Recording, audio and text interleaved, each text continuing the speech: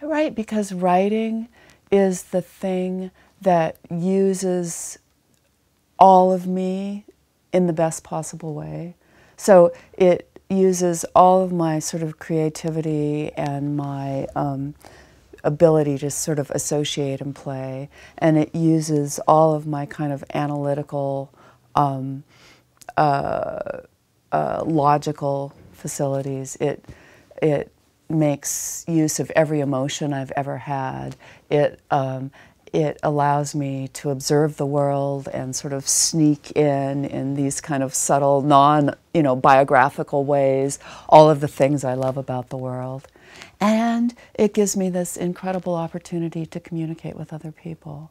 And, um, you know, when I sit down to read, there's this sense that my mind is meeting another mind. I'm having this conversation across maybe enormous time and space. And to me, that's very, very exciting.